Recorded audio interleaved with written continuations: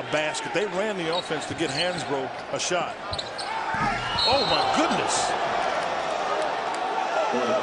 Solomon Jones the foul. and Corey Maggette.